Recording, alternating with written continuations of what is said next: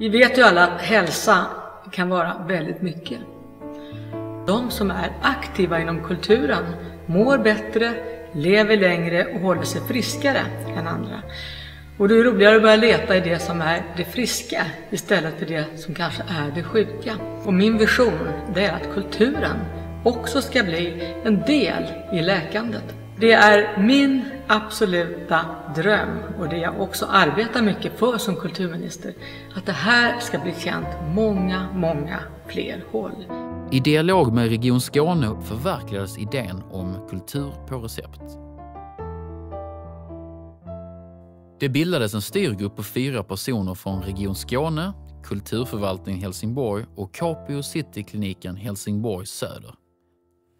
24 personer har deltagit i Kultur på recept, uppdelade i tre grupper över tid. Det handlar om personer med lätt eller medelsvår depression, ångest, långvarig smärta i nacke, axel, rygg eller generell smärta och som varit inskrivna på Capio City-kliniken Helsingborg Söder.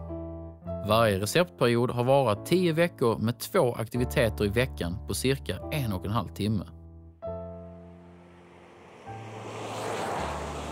Första gången jag hörde om Kultur på recept så lät det konstigt. Hej. Välkommen till Capio City-kliniken. Men att bara få frågan om att vara med i ett projekt gör mig glad. Jag kände mig sedd och uppskattad igen. Och det var länge sedan sist. Tanken är ju att i den här metoden prova eh, om kulturaktiviteter kan bidra till att man känner sig friskare, att man kanske får flytta fokus från det som känns jobbigt. När jag kom till Dunkels kulturhus, även om det var en känsla av försiktighet, fanns det ändå en form av gemenskap. Och jag är er kulturkoordinator i... Jag har aldrig varit på Kulturhuset innan. Jag har tänkt att det är finkultur, gjort för de där andra. Men där har jag fått ändra mig. Kultur är så mycket. Det är faktiskt inte bara att titta på tavlor och några grejer som man inte fattar.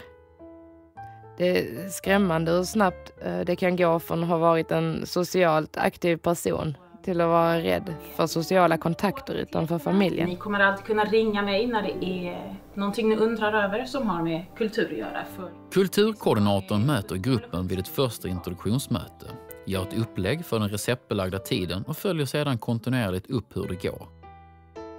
Vi fick prova på körsång. God morgon! När jag var yngre hade jag aldrig vågat göra något sånt. Dags för sång igen.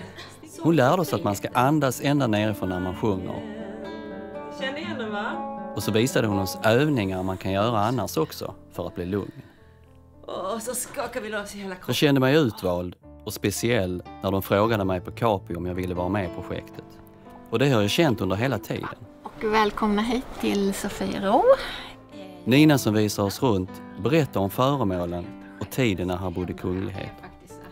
Jag vet inte så mycket om kungar, men det är intressant i sammanhanget så helheten blev riktigt bra. Jag har haft värk och haft det sedan många år tillbaka. Vissa dagar kommer jag knappt ur sängen och kan inte röra mig. Strapatserna vi tar oss igenom i gruppen gör att vi kommer ännu närmare varandra. Vi pratar aldrig om våra sjukdomar utan hade fullt fokus på det kulturella vi sett. Kulturpedagogerna har visat deltagarna runt och ordnat olika former av workshops. Men en viktig uppgift har också varit att få alla att våga vara delaktiga i aktiviteten och att diskutera kulturen man just upplevt. Med varsitt kulturkort har sedan varje deltagare fri entré till Helsingborgs kulturliv under ett år. Jag ville definitivt vara med i Kultur på recept. Det är trevligt att träffa andra och komma ut och göra något. För många av oss har isolerat sig.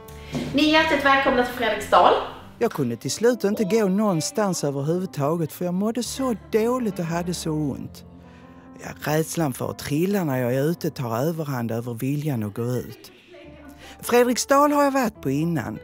Men jag fick möjlighet att se det med nya ögon tack vare vår guide Charlotte.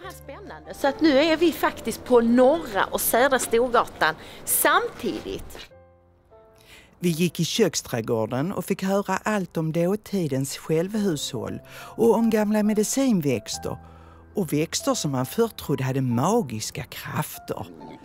Vi såg på djuren och fick riktig närkontakt.